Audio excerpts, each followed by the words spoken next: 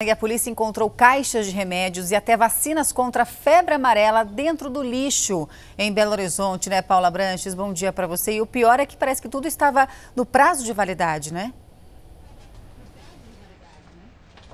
Exatamente, um ótimo dia para você. Olha, foram encontradas seringas, ampolas com diluentes para vacinas contra a febre amarela, rubéola, cachumba, tudo dentro do prazo de validade. Ao todo, são 50 caixas. Os moradores do bairro que encontraram as vacinas jogadas no lixo. A Polícia Militar informou que não há registro de boletim de ocorrência de furto ou roubo dessas doses. Mas os policiais vão investigar por que as vacinas foram parar no lixo e quem foram os responsáveis. Voltamos à redação do Fala Brasil.